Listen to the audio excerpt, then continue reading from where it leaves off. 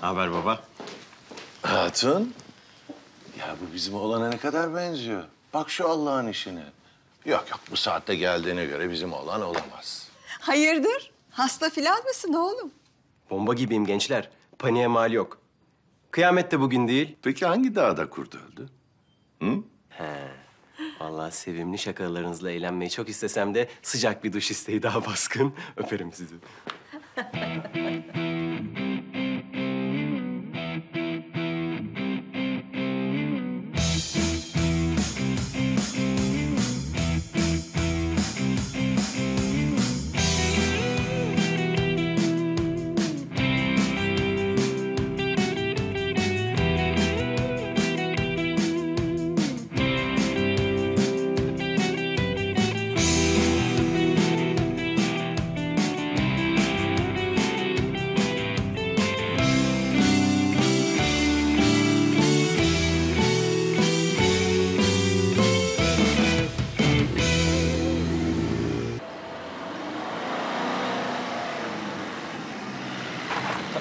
dur dur dur dur dur burada dur tamam eyvallah.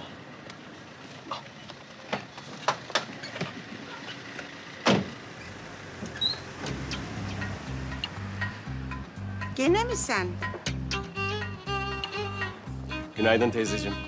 Bana bak oğlum. Sen benim namusuma mı göz diktin? Estağfurullah teyze o nasıl söz?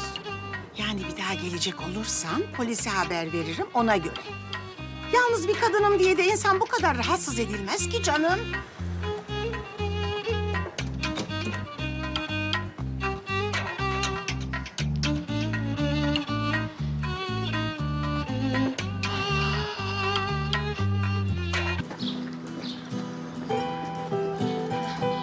Çıkmış seninki bekliyor.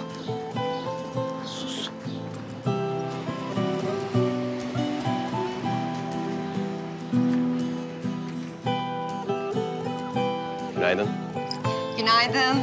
Günaydın.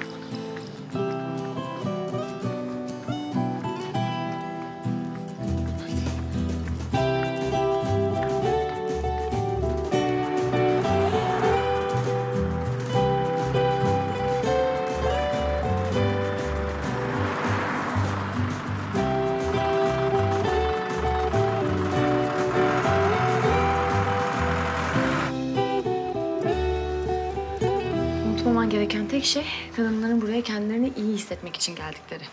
O yüzden onlara istediklerini ver. E tamam. Zorlanmayacağım yer burasıymış demek ki. Hoş geldiniz Sedef Hanım. Hoş bulduk canım. Hoş geldiniz. Ömer Bey sizinle ilgilenecek. Ee, sizi hemen içeri alalım. Tabii bugün de hiç gelmenize gerek yokmuş. Ay çok teşekkür ederim canım. Ozan Bey ilgilenir misiniz? Tabii ki. Buyurun. Tabii tabii. Ömer Bey.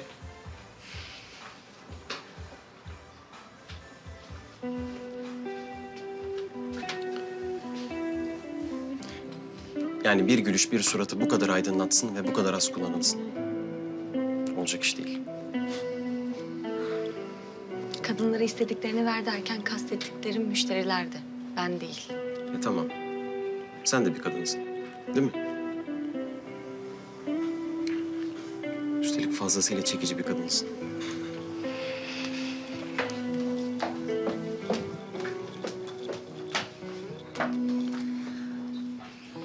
Bak. Seninle gayet açık konuşacağım. Umarım bu sefer derdimi anlarsın.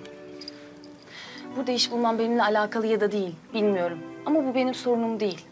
O yüzden ayaklarına falan kapanmamı bekleme. Yakışıklı çocuksun evet. Talep gördüğün de belli. Üç beş klişe numara da öğrenmişsin. E vaktiyle bunlar işine de yaramış. Ama ben yanlış adresim. Zor kızı falan oynamaya çalıştığımdan değil. Sadece gerçeklik dışında bir şey midemi kaldırıyorsa direkt kusarım. Çenemi tutmak adetim değildir. O yüzden senden tekrar tekrar rica ediyorum. Beni sınama. Bak, bu da yüzüme pek çok yakışan rica gülümsemem. Aslanım hoş geldiniz. Umut, Umut, Umut. Sen geçen gece benim hayatımı kurtardın. Ama öyle apar topar gittin ki doğru düz teşekkür edemedim hayatım ben sana. Bu senin. Ne gerek vardı aslanım? benim ücretimi verdiniz zaten. O başka, bu başka. Bu o gece senin giydiğin sende mükemmel duran kostüm var ya bu o. Ama çok mahcup oldum şimdi. Hak ettiğin şeyi aldığın zaman mahcup olma hayatım. Aa, yeni arkadaşlarımız var. Ozan dün başladı. Merhaba, Ozan ben. Beril, bir kartımızı versene. Fotoğraf çekimine gelsin. Çok elegant bir maskı var. Belki kullanırız hayatım. Ben Ozan Bey'e iletişim bilgilerinizi veririm. Ee, Hale Hanım sizi maniküre bekliyor. Önce saçlarımı yıkasınlar hayatım. Kanalda toplantım var. Şöyle havalı bir fön olsun. Havalı. Tabii. Buyurun. İlgilenin lütfen. Asude Korkmaz. Son yılların en popüler kas ajans sahibi. Çok güzel projeleri de var. Seni beğendi, hadi gene iyisin.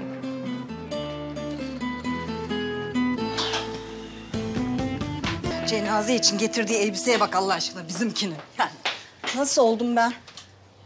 Adeta kederli bir dul gibi Asude Hanım. Sen bu işi biliyorsun Ali. Bebeğim benim. Al tatlım bana bak. Benim teklifim geçerli unutma. Sen benim teklifimi kabul et ben anında kovayım bu Beril'i. Hadi görüşürüz çocuklar hadi. Güle güle. İyi günler. Şu kadın beni kendine yakın bulmuyor mu? Tüylerim diken diken oluyor. Hayır yani neyimi benzetiyor kendine? Bilsem de aldırsam o özelliğimi. Efendim? Ne? Hangi hastane? Tamam, tamam dur geliyorum. Umut? Annemi hastaneye kaldırmışlar, iş kazası geçirmiş. Fatih Bey'e söylersin tamam mı? Ay önemli bir şey var mıymış? Bilmiyorum. Kız dur para da yok yanında. Hay Allah. Nereye gidiyor Umut? Telefon geldi annesi hastanedeymiş.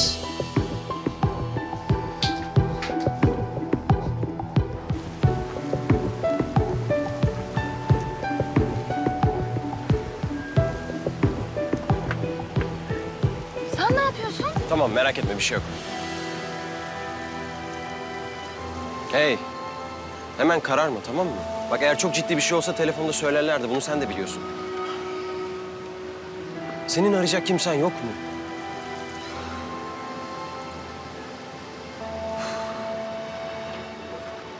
Hey, taksi.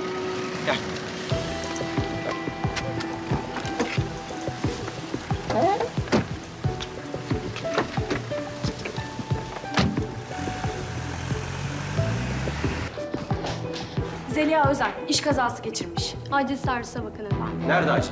İleride sonra. Anne patron seni buraya tek başına mı yolladı? Yok canım. Şoför İdris'le geldim. Dışarıda bekleyecekti. Ben git dedim. İyiyim nasıl olsa. Anne, bak bu ihmalkarlığın bir bedeli olacak. Sen de alttan alıp durma Allah aşkına ya. Baksana adam tenezzül edip yanına bile gelmemiş. Umut bir sakin ol ya. Bak annen iyi durumda. Şimdi kendini de anneni de panikletmenin bir alemi yok ki. Patronla iş yerinde konuşulur. Ayrıca tabii ki bunun bir cezası var. Ozan bizim iş yerinden anne. Ben öyle apar topar çıkınca yanımda geldi sağ olsun. Geçmiş olsun teyzeciğim. Sağ ol evladım. Zahmet olmuş. Estağfurullah ne zahmeti. Sizin işlemleriniz bitti. Çıkışınızı yapabilirsiniz. Ay, dur dur anne kalkma dur. Başın döner. Yahu elimi kestim. Yürüyebiliyorum ben. Hasta muamelesi yapma bana. Ay. Hadi bakalım. Sigorta kartın yanında mı anne? Kimlik numarası yeter. Dur dur. Ezberimde yok. Sağ ol evladım. Sağ ol.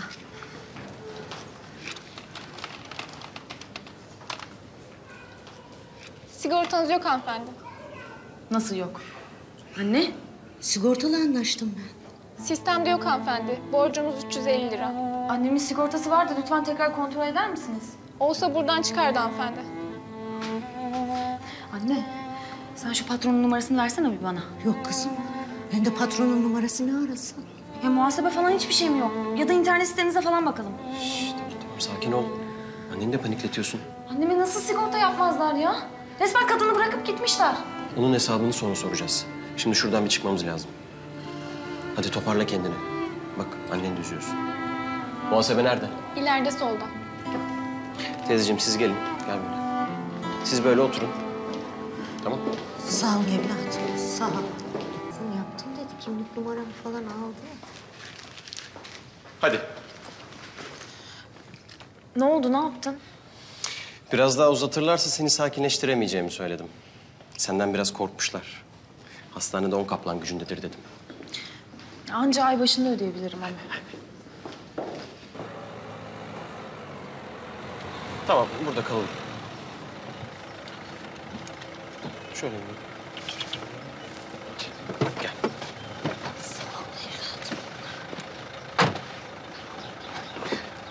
Ah, sağ ol evladım.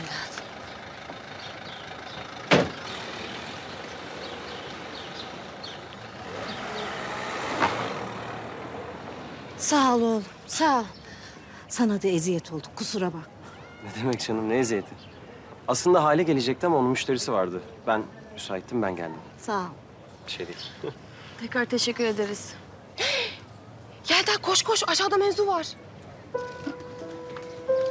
Ne oldu kız? Bak bak nasıl samimiler. Ay çocuk çok yakışıklıymış yalnız. Bana bak Umut'un sevgilisi mi bu yoksa? Yok artık. Biz fare gibi kıyı köşe saklayalım sevgilimizi. O bütün mahalleyi afiş etsin. Kolaydı. Dediğim gibi ay başında hesaplaşırız. Konuşuruz sonra. Tekrar geçmiş olsun. Sağ ol, sağ ol evladım.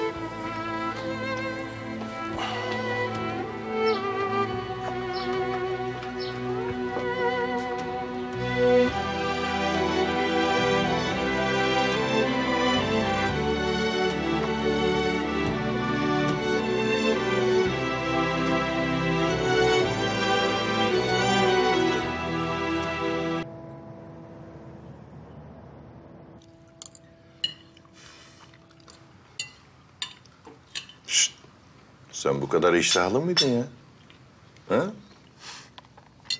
Yemekler süper olmuş baba. Refika abla gene döktürmüş. Ellerine sağlık. Baba. Hı. Sana bir şey soracağım. Sor. Bizim şirkette hiç sigortasız çalışan var mı? Yok. Niye sordun? Ya bugün bir olaya şahit oldum. Kadının bir tanesi bir buçuk senedir çalışıyor ve sigortasız olduğunu bilmiyordu. Yalan söylemişler kadına. Sadece giriş çıkış yapmışlar. Ben öyle şey yapamam oğlum. Yani fakir fukaranın ahı alınmaz. Bunun vebali çok büyüktür. Bir gün mutlaka bir yerden onun ahı çıkar. Peki biz o işletmeyi şikayet edemez miyiz? Kimmiş o? Sen nereden gördün? Ya bizim Emin bugün kan tahliline gitti. Ben de ona eşlik ettim. Orada gördüm. Önemli bir şey değil. Bak istersen şikayet edebilirsin. Önce şirket bilgilerini filan alman lazım. Sonra müfettişler giderler, şirketin defterini dürerler. Ayrıca böyle soysuzların da defteri dürünmeli bence. İstersen bizim şirketin avukatıyla da görüşebilirsin. Benim oğlum böyle sosyal meselelerle de mi ilgileniyormuş ha? Aferin sana be.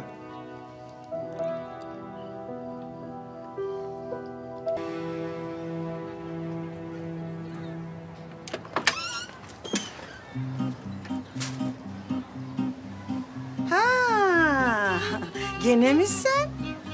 Her sabah her sabah benim evimin etrafında ne işin var senin? Hem ben öğrendim. İbrahim Üzülmez futbolcuymuş. Senin derdin başka. Açık açık söyle de ne olduğunu bilelim. Ablacığım bak gerçekten niyetim rahatsızlık vermek değil ama sana bir ara anlatacağım. Söz veriyorum. İyi günler. Teyzeydik abla oldun. Hı? Hadi hayırlısı.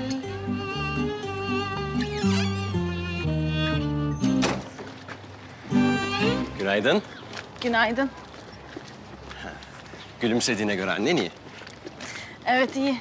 Sana da çok selamı var. Tekrar teşekkür etti. Bir şey yapmadım ki. Bir şey soracağım. Senin bu annenin çalıştığı yerin ismi neydi?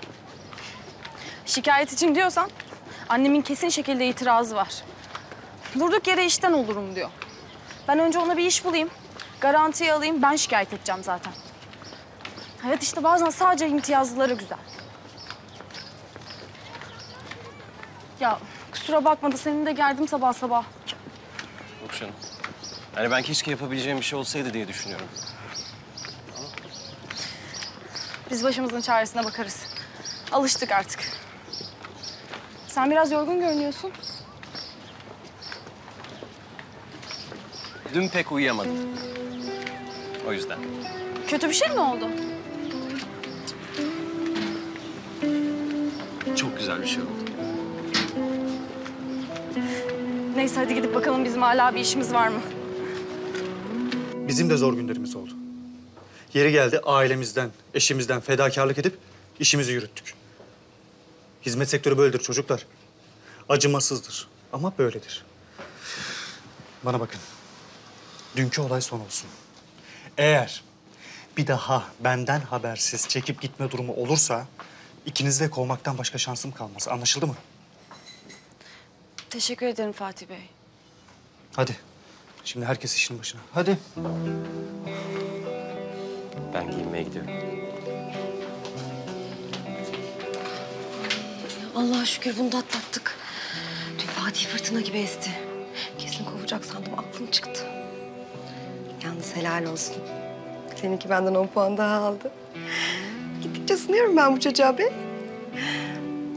Sen böyle naletlik yapmaya devam edersen her an saf değiştirebilirim ona göre. Hadi koş üstünü değiştir. Hem bir teşekkür et. Sen de seninki deyip deyip durma ya. Kasılıyorum. Aa yok canım. Sen doğuştan gerginsin. Benimle alakası yok. Yapı meselesi o. Hadi canım. Hadi. Hadi.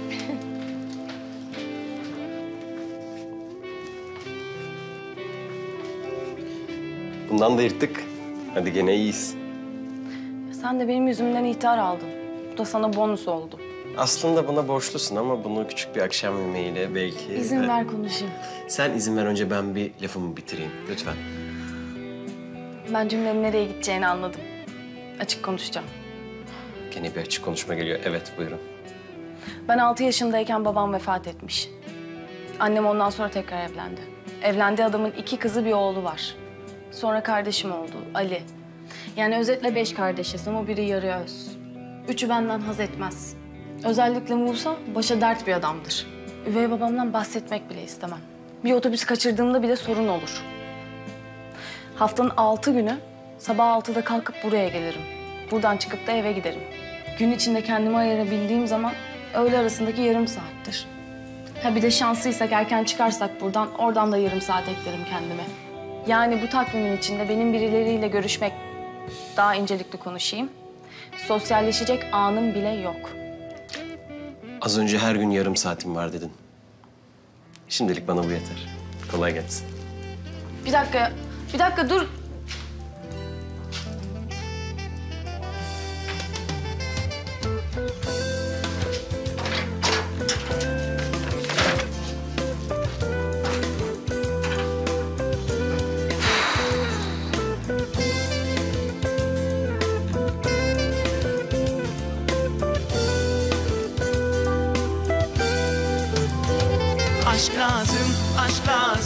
Sevmeye. Yürek lazım, günlerce gülmek lazım. Elinden tutmak lazım, söz lazım, söz lazım. Bitmeyen bir tat lazım. Denizler boyunca uzanan kumlarda yatmak lazım. Gelirsen bir yaz daha benimle doyarsan ellere. Benim sen kapı açık dönersen çıkarım göklere. Aşk lazım, aşk lazım sevme Yürek lazım, günlerce gülmek lazım Elinden tutmak lazım Söz lazım, söz lazım Yepyeni bir tat lazım. Denizler boyunca uzanan kumlarda yatmak lazım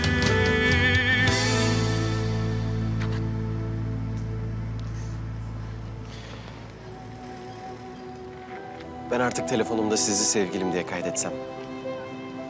Bir problem olmaz herhalde. Bu kadarına razıyım diyorsan. Yarım saatlik sınırlama zorlamıyor değil. Ama adım adım gidersek aşamayacağımız daha yok.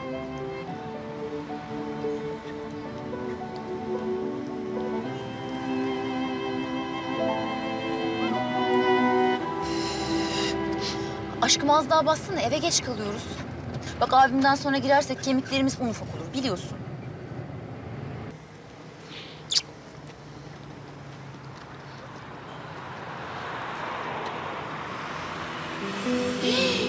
Yelda bak bak. Umut değil mi o ya? Bak sen kaçın kurası o. Demek ondan yarım saat geç geliyor eve artık ha?